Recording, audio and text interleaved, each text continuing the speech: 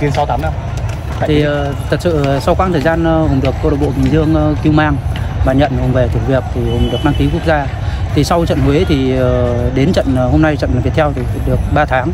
Thì qua qua thời gian 3 tháng qua thì hùng luôn luôn hùng cố gắng phấn đấu từ thầy tuấn uh, đến thầy lê huỳnh đức về. Thì hùng rất là may mắn sao được ngày hôm nay được đá chính thì cũng may mắn sao được thầy đức chỉ dạy và động viên rất là nhiều. Cũng cố gắng làm sao trao niềm tin cho hùng để có hùng có cơ hội làm lại cuộc đời mình. Thì qua qua quá trình thì hùng có lầm lỡ.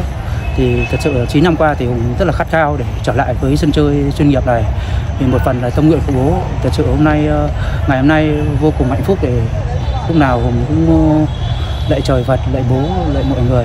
Mong làm sao được mình trở lại được may mắn. Mình thi đấu thật tốt chứ không nghĩ để hôm nay mình có một bàn thắng để mình mình ờ, chính thức mình xin lời xin lỗi của bố. Mong bố tha thứ chắc bố sẽ vui và lời xin lỗi của gia đình và mình uh, làm sao là 9 năm qua thì mình cũng gây ra lỗi rất là lỗi lầm với cái danh dự gia đình và bản thân. Thì ngày hôm nay hùng trở lại thì hùng rất là may mắn hùng có một bàn thắng thì hùng cũng xin lỗi bố và cảm ơn liên đoàn bóng đá việt nam cảm ơn anh Minh Hải cảm ơn anh Vũ và câu bộ bóng đá Bình Dương và anh Lê Đình Đức đã cứu mang Hùng để Hùng cho Hùng cơ hội để trở lại với sân chơi chuyên nghiệp này. Thật sự hôm nay Hùng rất vui nhưng mà buồn vì câu bộ đang khó khăn không thể thành kết quả tốt ngày hôm nay. Hôm nay khi ghi bàn ờ, em ở thấy anh khóc ở khi này hôm nay anh cái bàn anh em đã thấy anh khóc thì bàn thắng này chắc anh chuẩn bị tặng cho bố và anh có lời hứa gì với bố anh?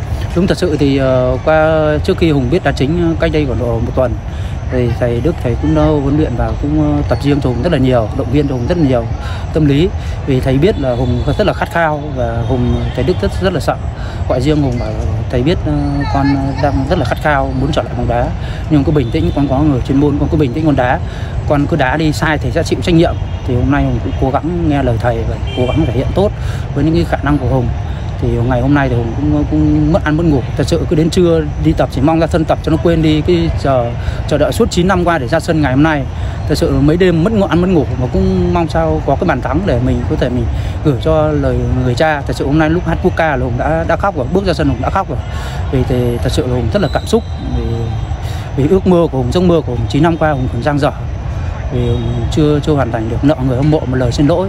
Thì nhân đây thì mong người hâm mộ mọi người tha thứ cho Hùng những cái lơ lầm của tuổi trẻ Hùng trở lại và Hùng sẽ cố gắng đóng góp tất cả những cái gì tốt nhất cho cho cho câu lạc bộ và riêng và người bóng đá Việt Nam nói chung Ờ, sắp tới thì Hùng cái mong ước lớn nhất của Hùng khi trở lại là gì? Bây giờ Hùng muốn mong muốn điều gì? Em mong ước lớn nhất của em bây giờ em sẽ cố gắng làm sao tập luyện thật tốt và chơi những thật tốt khi thầy Đức trao niềm tin cho ra sân đá chính để giúp câu lạc bộ thoát thoát khỏi những nhóm cuối bảng trụ hạng thành công năm nay cái mưa lớn nhất của Hùng bây giờ là Bình Dương kêu mang Hùng thì Hùng sẽ cống hiến tất cả những cái gì tốt nhất cho cho Bình Dương đổ máu cho, cho Bình Dương.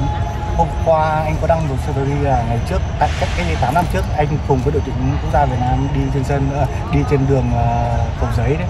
Anh có thì thật sự là hôm qua cái hôm qua thì Hùng tập sân liên đoàn. Vì hôm qua ngày đây câu lạc không được tập thì Hùng có đi qua cái chỗ Trần Duy Hưng. Ngày xưa Hùng làm bảo vệ ngân hàng của Sacombank thì tự nhiên đi đến cái đoạn đấy tự nhiên ờ, cái, cái cảm xúc của Hùng lên. Hùng nhớ cái con đường ngày xưa mình đang làm bảo vệ. Lúc mình mới bị một năm xong rồi xe đội tuyển đi qua thì ờ, các bạn bè đội tuyển thì thấy Hùng đang làm bảo vệ thì vỗ vỗ gọi Hùng. Thì với thật sự cái cảm xúc của Hùng nó nó, nó, nó, nó gần như nó tụt cùng. Mình mình đánh mất tất cả rồi. Bây giờ mình đang làm bảo vệ mà xe đội tuyển đi qua nếu mình không có tính thì mình vẫn đang ở trên đấy. Thì hôm qua mình đi qua thì tự nhiên cái cảm xúc mình mình lại nhìn lại về cái quá khứ. Mới tự nhiên hôm nay mình lại nhìn ngồi trên xe mình được nhìn vào đấy mình nhìn cái cái quá khứ của mình trước đây. Thì hùng chỉ biết hùng động viên hùng luôn luôn có niềm tin trong cuộc sống là không bao giờ mình gục ngã trước bất cứ điều gì. Vì đường sau mình còn gia đình. Vì thật sự là hôm nay hùng được trở lại ngày hôm nay thật sự hùng rất là vui. Hùng biết ơn tất cả những người đã giúp đỡ hùng để cứu mang hùng cho có ngày trở lại ngày hôm nay. Thật sự cảm ơn mọi người rất là nhiều. Chúc Quang Hùng sẽ luôn luôn gặp những may mắn trong thời gian tới. Dạ dạ em cảm ơn ạ. Vâng thay đây thì em